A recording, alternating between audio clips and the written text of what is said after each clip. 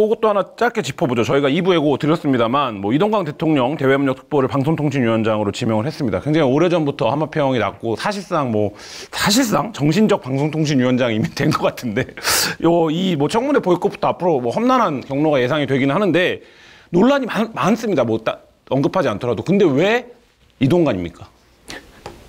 저한테 물어보는 네네 그렇습니다. 윤석열 대통령의 빙의에서 설명해 주십시오. 그러니까 이 얘기 하면 두 시간 해야 돼요, 사실. 두 시간 해야 되는데 뒤에 네. 이제 뭐 이거 하실 분을 모셔다 놓고 이제 짧게 또 그러니까 우리 또그 분야의 기사 쓰시는 최성진 또 음. 옆반 반장님 데려다 놓고 이제 있으니까 제가 길게 얘기하기는 어려우나 네. 결국은 이런 거 아닙니까? 제가 윤석열 대통령이면 총선 전에 방송을 장악해 가지고 정말 행복한 방송 환경을 내가 만들고 싶다.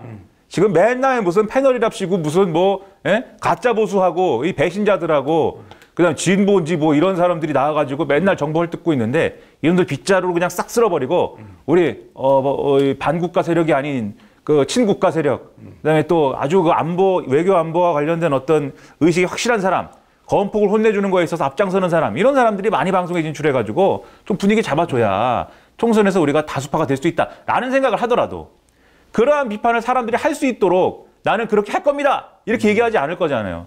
나는 방송장을 할 겁니다 이렇게 얘기하지 않을 거지 않습니까? 그렇기 때문에 방통위원장도 내가 그러한 얘기를 해가지고 들을 사람이지만 그러한 책을 잡기에는 좀 애매한 사람 이런 사람으로 선택을 할 것 같아요. 그래서 그런 사람으로 하여금 방송 장악을 해도 시킬 것 같은데 적임자다? 이동관. 이동관은 그 적임자다. 이동관은 네. 설사 설사 윤석열 대통령이 이거 완전히 거꾸로 뒤집어서 나는 방송 장악만은 절대 안 할 거야. 왜냐하면 우리나라는 자유민주주의이기 때문이지. 네. 자유민주주의의 요체는 언론의 자유이기 때문이지.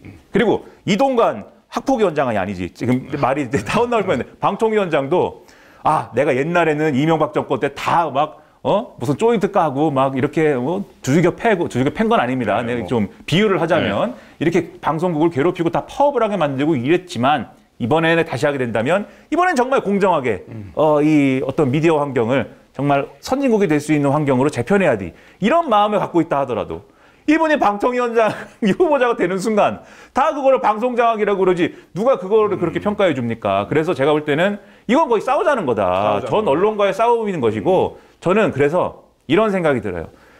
여러분 언론 장악을 하려고 하는 게 아닙니다라는 얘기를 굳이 안 하는 이유가 뭐냐면 언론 장악보다 더한 목표를 가지고 있기 때문이다. 뭡니까?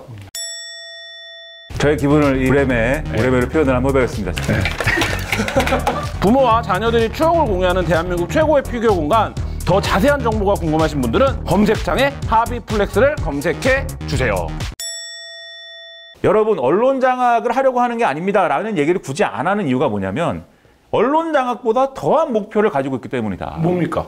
제가 눈여겨본 게 이동관 이 특보가 방통위원장 후보자 지명되고 나서 뭐 몇 가지 얘기를 했어요. 몇 가지 얘기가 다 거슬렸어요, 저는. 근데 가장 거슬렸던 거는 우리나라도 이제는 BBC 인터내셔널과 NHK 국제방송 정도의 위상을 갖는 그러한 방송을 가질 때가 됐대요. 그러면서 뒤에 또 넷플릭스와 같은 콘텐츠 생산 가- 이런 기업도 있어야 된다 이렇게 얘기했는데 내 넷플릭스 얘기도 그냥 한 얘기 아닌 것 같아. 이거 뭐 그 갖다 붙여서 쭉 이제 설, 막 얘기하려면 한두 끝도 없을 건데. 창조경제? 예? 창조 경제? 그게 창조 경제가 되는 거든 아니면 뭐 CJ ENM이 되는 거든 할 얘기 굉장히 많을 것 같은데 네. 아무튼 그것 그건 뭐내잘 모르는 분야예요. 선생님도 전공 있지 않습니까? 네. 선생님 전공은 로봇이기 때문에 외생문화. 어, 나 로봇을 어? 들어올리려고 그랬더니 망가뜨렸어! 아니야, 아니야, 아니야. 분리될 수 있는.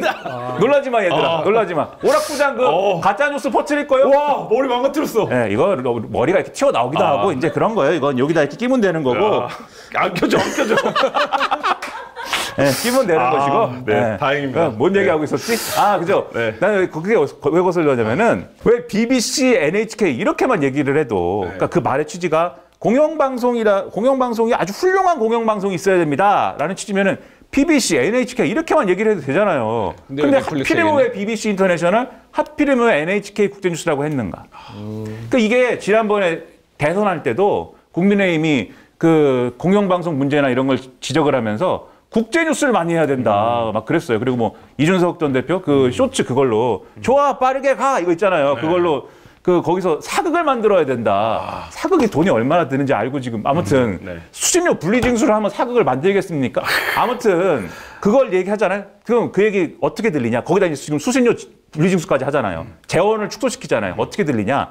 국내적 쟁점, 예를 들면 정치인의 뭐 어떤 무슨 정책 결정 또는 정치인의 비리 또는 어떤 기업의 비리 이런 거 파지 말고 그런 거는 다른 데가 하니까 그거 인용 보도 하거나 그냥 뭐 그거 열심히 읽으시고 여러분이 뭘 이렇게 분석하고 해석하고 해설하고 싶으면은 해외 뉴스 해라. 국제 뉴스 아리랑 TV와 해라. 네, 아리랑 TV. 이렇게 들린다. 네. 이게 수신료 분리징수까지 합쳐갖고 보면 여기에 뭐 시간 없으니까 조금만 할게요. 하나 더 하면 특히 NHK 국제 뉴스는 이거는 전례가 있어요.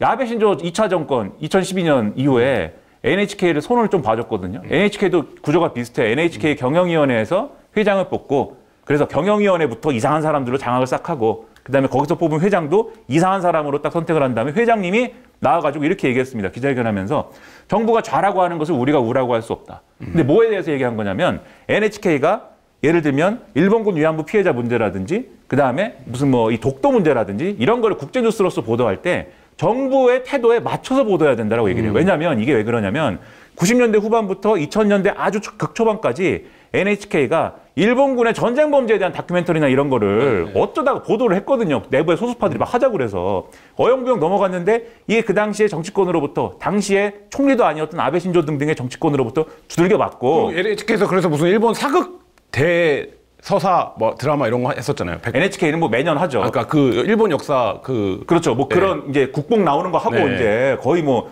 거의 뭐 죄송합니다 아. 하고 도계자 하고 네. 그걸로도 성에 안 차서 그 원래 NHK는 정치적인 이 외풍에 취약한 음. 상태임에도 불구하고 성에 안 차가지고 또 손을 봐준 게 2014년에 있었던 일이거든요. 지금 이동관 특보가 이동관 후보자가 하는 일이라는 게 그거다. 지금 어차피 공영방송 장악하면 외풍에 이 취약한 거는 똑같습니다. 구- 지배계적 구성을 안 하면. 근데 그걸로도 만족하지 않는 거다 이거는. 더 쭈그러뜨리고 더 이제 존립 기반을 홈는 일을 하겠다라는 것으로 집에서 일 없이 10년을 보냈는데. 진통제 먹고 있는 선생님은 네.